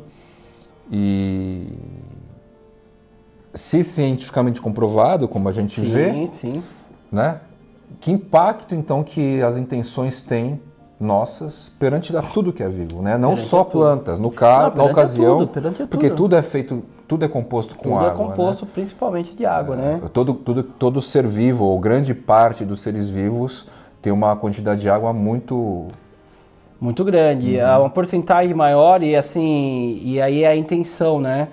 Então, nesse contexto todo, cara, dentro da tua casa, né? A gente, eu que, que trabalho com, com pessoas, né? Com relações interpessoais, né? E essa pesquisa ela leva isso um pouco, né? O cara olha pro filho e fala: "Ah, você é um trouxa. Ah, porque ah, você é feia." E não sei o que, ou para um parceiro ou para parceira. E essa intenção foi que a professora quis provar lá em Curitiba, né? Essa intenção, o quanto que ela modifica os seus átomos, as suas moléculas, né? O quanto que isso dificulta né, o desenvolvimento não só mental, mas o desenvolvimento mesmo corporal da pessoa, né? Então, pessoas que vivem pegando doenças, pessoas que vivem ou doenças autoimunes, adquirem ou não, Mas aonde está a sua intenção? Isso é provado, né? Que a prece, o, o, o, o, acreditar em algo maior é muito grande, né? Existe meditação, meditação prece. É, e aí, dentro de, de uma outra esfera de, de, de, estudo, a gente tem. Que é o estado de flow, meditação Sim. e prece e, e, cuidar de, de planta, planta, Eu acho que, que te leva num nível de concentração do estado de flow, não é? Exato. E aí, a sincronicidade, né? Isso é bem interessante, porque a gente estava falando da questão do fly aqui, pensar: olha, eu acho que eu vou produzir alguns híbridos e as plantas começarem a produzir as inflorescências tal. E a sincronicidade ela é definida justamente sobre isso, né? Fatores que vão acontecer, mais de um fator, que vai mostrar que aquela energia naquele lugar, naquele, naquele momento, as coisas acontecem e não de uma forma aleatória, sim por um motivo, né? São fatores meio que cadenciados, né? Exato, não só cadenciados, né, numa forma de muito claro. É, mas são coisas que acontecem que vão favorecer com que aquilo, aquele resultado, né, aquele objetivo seja alcançado. É um pouco a ver com a teoria da, do efeito borboleta, talvez, né? Exato. Uma ação aqui uhum. vai acionar alguma outra coisa lá, meio que aparentemente desconexa e a coisa e vai... as coisas vão se juntando toda. Uhum. Então, o Carl Jung, ele fala muito, o Carl Jung, ele fala muito sobre isso, né, da psicólogo. questão psicólogo da sincronicidade, isso é definido então na psicologia, isso tem ciência, né, como a gente estava falando, e a história toda é justamente essa, né? Você toma uma atitude e a partir daquela atitude vão acontecendo outras ações, né, do efeito efeitos borboleta, em cadeia, falou, uhum. efeitos em cadeia que vão te levar, né, que você tenha objetivo, né, você tenha sucesso naquele, naquele seu objetivo. Então, dentro do, do cultivo de planta acontece muito isso e acho que eu sempre já falei para você isso o nosso encontro foi mais ou menos isso. Olha, montei meu espaço, a minha clínica, quero colocar planta, nunca cultivei nenhuma planta, pô, queria encontrar alguém que tenha uma consciência sobre as plantas dentro do, do, da forma que eu quero. E o que me trouxe muito, o que juntou a gente foi justamente isso, a forma científica que você fala das plantas uhum. e aquilo que eu buscava. E dentro disso foram aparecendo as demais plantas, os, os demais cultivadores né, que estão ao meu redor, que uhum. a gente uhum. foi trocando informação. E a, essa sincronicidade ela acontece a todo momento na nossa vida, isso junto com as plantas também. E aí, qual que é a ideia, né? Qual que é o exercício que você vai fazer na tua casa? Né? Como estão as suas plantas, né? Em que nível que estão? Elas crescem, não crescem? Por exemplo, na minha casa, né? As minhas plantas estavam no meu espaço, na minha empresa, eu levei para minha casa e eu olho para elas e falo, ó, não pode crescer muito que não tem espaço. Então algumas das minhas plantas, isso, é, né? eu penso isso, né? Acaba às vezes até verbalizando. Então algumas até crescem um pouquinho mais, a gente sabe de plantas que vão, né, de, de alguma forma, e algumas elas acabam não crescendo tanto, às vezes não se desenvolvendo, por mais que, que eu dou ali luminosidade, adubo e tudo mais, mas de alguma forma ou outra acaba barrando é, esse crescimento. E eu vejo sim que sim, que um pouco é do meu pensamento, um pouco é dessa necessidade de espaço também que elas têm e tudo mais, então acaba sendo síncrone, né? Ter essa sincronicidade, ela é natural e ela acaba acontecendo. Tango. Olha o tango. O tango que é carinho. Mas essa parte de sincronicidade tem bastante a ver também com essas, esses, essas relações, esses movimentos todos que você... É, essa relação de ação e reação. Sim, sim. E não mais, mais do que isso, né? E aí o que é provado é justamente isso, que essa questão não só sua de ação e reação e, e só não é, é, um indivíduo, né? É, é, uma proposta coletiva. Com certeza. Então você tem uma sincronicidade coletiva. E aí mais do que isso, né? No rolê das plantas a gente vê aí que agora é o momento né, que a gente vê dos híbridos chegando e logo, logo no começo eu falava, nossa, esse monte de mestiço chegando aí, uh, vai estar é, poluindo né, um pouco o rolê das plantas. E a visão, né, ela acaba mudando, que a gente batendo papo, é como a história do, de quem tem o aquarista e qualquer outra área de, de relação do ser humano com, com os animais, com outros seres vivos, e o ser humano com essa, esse entender dele da, de, de conhecimento, ele quer o quê? Evoluir as espécies e ajudar a natureza nesse momento. Então, hoje a gente olha, eu olho para o híbrido com outra visão. No começo eu tinha um certo preconceito, é verdade, mas hoje eu olho com outra visão porque A gente é. tem, né? Os animais, né? Cachorro. Eu vejo assim, quando a gente fala em espécie, os valores intrínsecos a você ter uma espécie em casa tem em determinados lugares. Ah, é porque faz parte de um microclima, uma microrregião específica, de acesso XYZ, de altitude ABC. Para trazer em cultivo tem que ter tais tais especificidades aqui sim, em casa. Sim. Quando você fala de híbrido, o lugar desses valores transita, está em outros pontos assim. Talvez mexa bastante com a ideia de fazer um híbrido muito diferente, conseguir diante de lá de tantas sementes pipocar algum carinha com alguma mutação, uma variegação, uma variabilidade genética muito sim, diferente. Então você transita valores, né? E, e mais um lance da sincronicidade que eu acho que tem muito a ver com a questão do timing. A gente deu uma pausa, né? Enquanto a gente, a gente deu uma pausazinha para tomar um café e tudo mais. E, por exemplo, quando o rolê estava mais intenso, tinha pandemia e tinha em, em termos de sincronicidade, as pessoas estavam uma, numa rede muito maior, tinha muitos pontos, cada ponto uma pessoa vinculada a um digital muito eficiente, muito rápido, porque você tinha lá milhares de contas de plantas, de né? De plantas, exato. Aí de repente vinha um fly aí e falava de um tal de verdão. O tá. efeito dominó da, da, da, das experiências com o Verdão aqui em casa, eu mostrando os testes em muito conteúdo consecutivo, o efeito síncrono era, foi muito rápido. Então o Verdão, o BioGreen, o Solo Green virou aí um cara, um, um pesticida orgânico que não faz mal para pet nem criança, de muita gente sim, aí sim. e de uma maneira muito rápida. Muito rápido. Nessa mesma ideia da sincronicidade hoje Monstera Lab está também ganhando uma, uma abrangência, uma certa uma abrangência, abrangência entre os colecionadores. Só que num timing, num nível de sincronicidade mais lento, mais devagar, porque os pontos é como se fosse o céu estrelado, onde estava muito estrelado, né? E cada estrelinha é uma pessoa. E agora tá, continua estrelado, só com menos estrelas para a luz dessa estrela mais distante da outra chegada demora um pouco mais, assim, exato. falando de maneira análoga. Não, não, exato, exato, demora um pouco mais e o que você colocou é verdade. Mas está no compasso, né? A gente mantém, né? As coisas elas têm essa contração e, e dilatação e a busca e a, esse efeito, né? Eu brinco que é o efeito WhatsApp do imedi imediatismo, né? As pessoas do digital, do digital querem tudo muito rápido, depois enjoa e quer outra coisa. O digital trouxe isso para todos os setores. Todos os setores. Mas a gente tá, tá acostumado, né? É, a manutenção disso ela é importante, a manutenção de todas as coisas, né? E dentro da, da das plantas, dentro do, do contexto de, de cultivo, né? o teu papel é super importante para a gente que, que convive no dia a dia, que você vem mantendo isso e vem fazendo uma crescente. Então, todos os momentos que o teu canal e o teu assunto, mesmo sendo planta, ele, ele modifica um pouco, né? igual agora modificou para os híbridos e mostra essa capacidade de se trabalhar. E falando em sincronicidade, isso é importante porque se vocês pesquisarem um pouco, existe também né, todo um trabalho feito por várias pessoas ao redor do mundo para modificação genética de melhoramento genético. Existem várias feiras e eventos e, e congressos nessa busca de pessoas buscando melhoramento genético, não só em plantas, né, que é o nosso caso, uhum. mas pessoas buscando até em seres humanos mesmo, fazendo todo esse trabalho.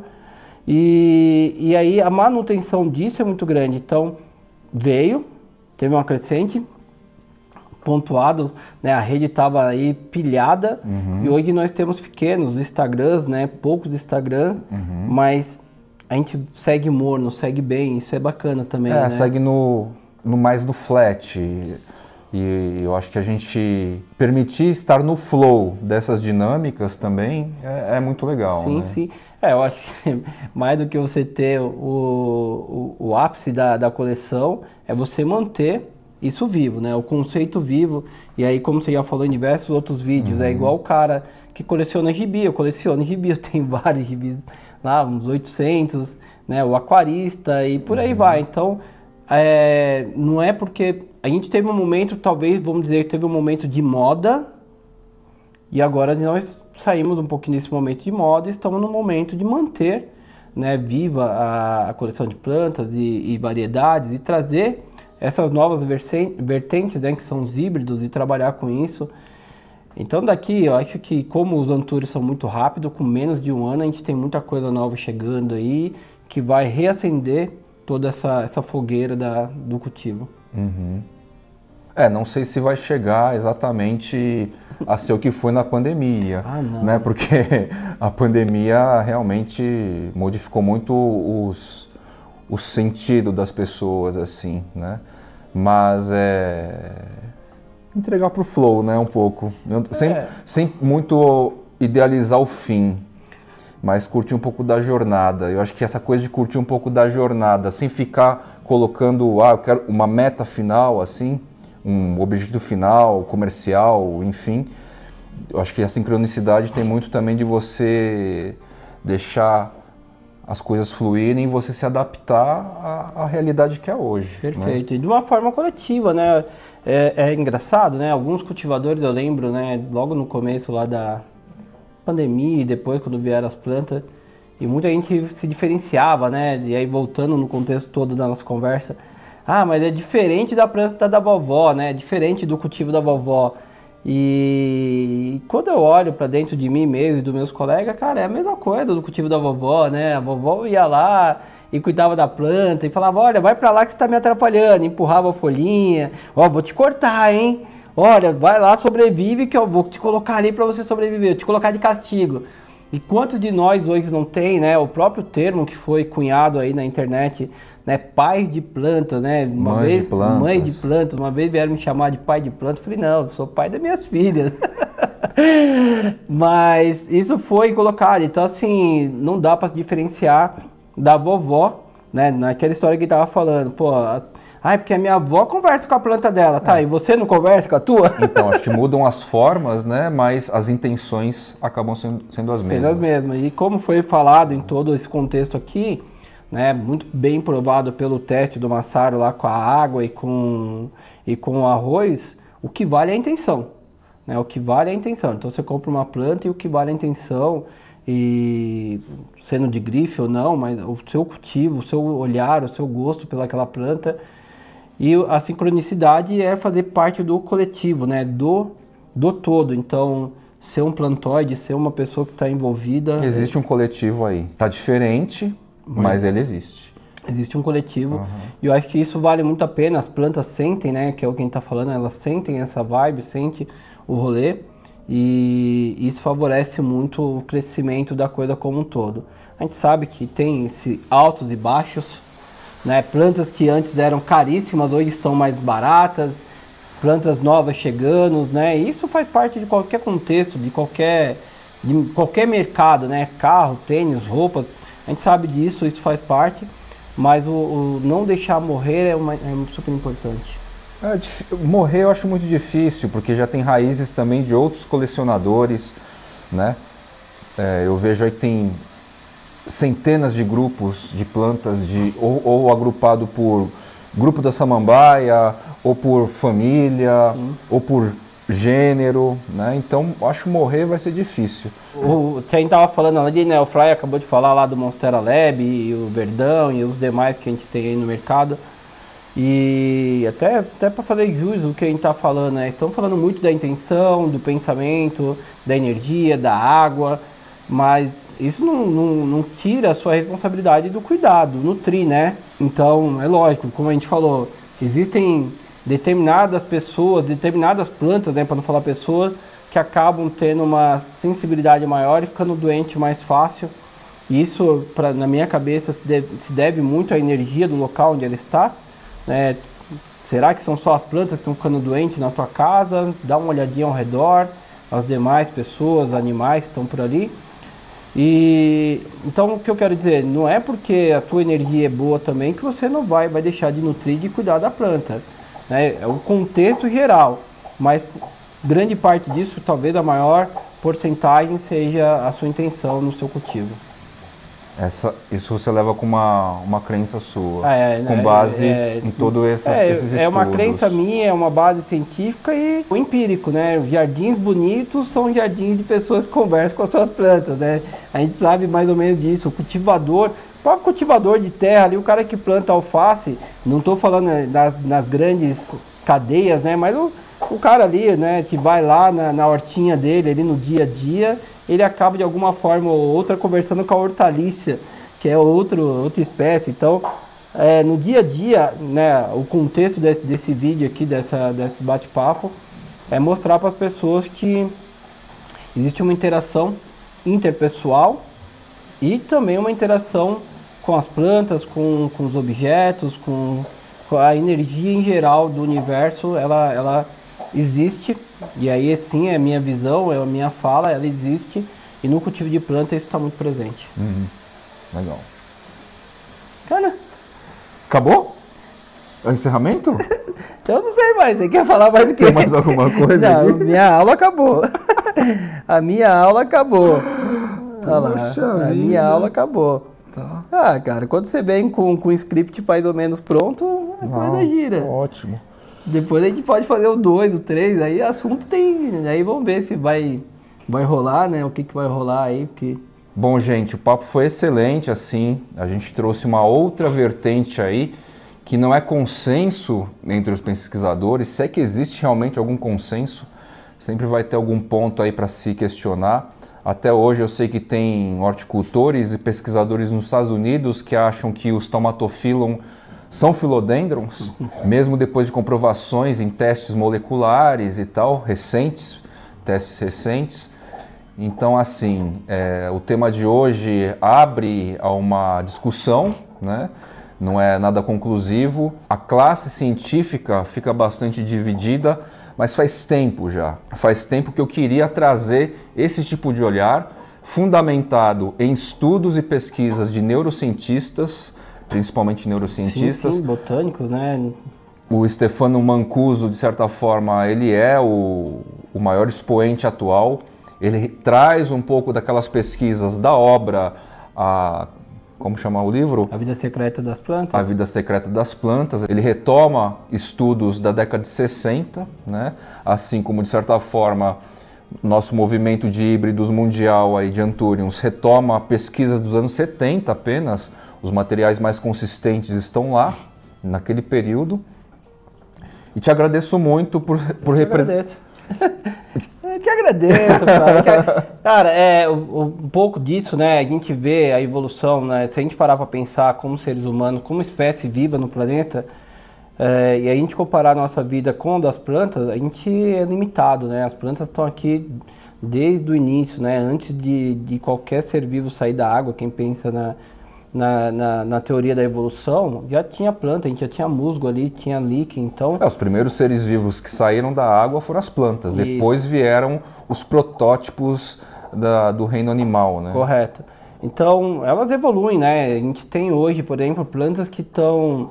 que elas conseguem gerar calor para se adaptar ao ambiente, então para viver em ambiente mais frio, elas geram calor e até para atrair polinizadores, então elas evoluem demais, né? As marantas que, que dançam durante o dia, né? Quantos de nós aí, durante, durante o cultivo ali, os, as primeiras marantas, a gente via aqueles vídeos delas se mexendo e a gente gravava aquilo. Então, uh, faz parte de um contexto muito grande. É lógico que de forma embrionária aqui, junto com o Fly, agradecendo o convite, estão abrindo o, o contexto aqui, a discussão e tem uma frase que é bem importante, eu gosto de, de lembrá-la, que é a ciência é feita de, é feita de verdades transitórias.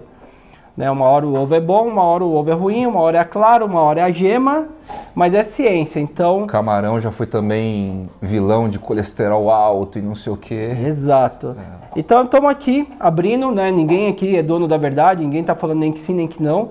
Estamos embasados em artigos, embasados em cima de nome de grandes cientistas, e é um, uma, um tema embrionário, mas agradeço ao Fly por ser o primeiro convidado aqui para falar sobre esse tema e tenho certeza que outros virão e talvez eu volte aqui para discutir um pouquinho mais sobre essa conversa de energia, plantas.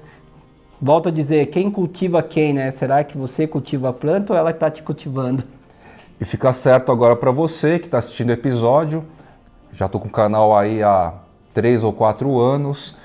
E embora eu traga aqui na tela a vocês um conhecimento relacionado esta área da ciência que é mais abrangente ou mais de senso em comum, como é a parte de botânica, as técnicas de cultivo e de horticultura. Fiquem sabendo vocês que nos bastidores, dentro da minha cabeça, dentro da minha relação com as minhas plantas, eu acredito sim. Não sei se exatamente nessas cadências todas que o, que o Jefferson trouxe, mas eu acredito sim no poder da intenção. A intenção entregue, seja em conversas comuns com as plantas ou só a minha cabeça não aqui. Não verbais, né? Não verbais, exatamente. Conversas uma energia, uma vontade, a minha vontade sendo transmitida a elas, de enfloresça, gera os frutos, me traga um híbrido diferente.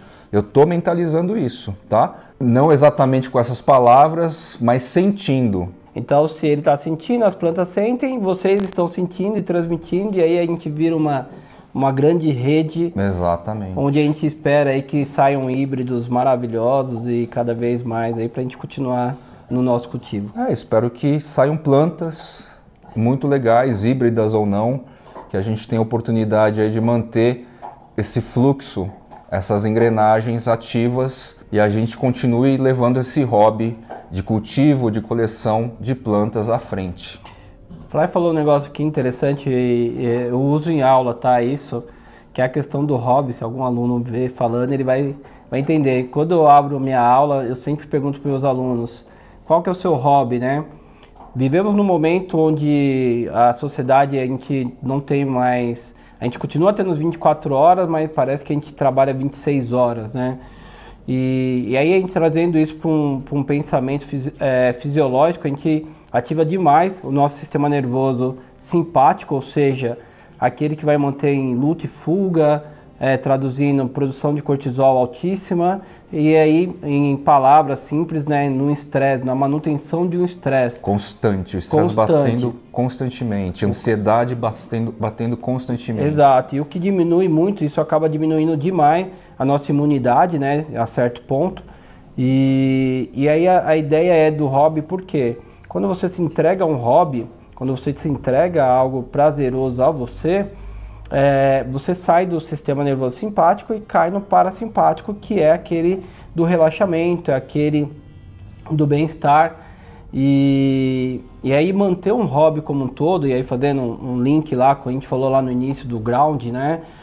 Da, da gente do se contato. reenergizar, né? Contato com a, com a terra. terra. Então, trazer bem-estar e fazendo uma troca energética, as plantas são excelentes para esse tipo de, de, de, contexto, né?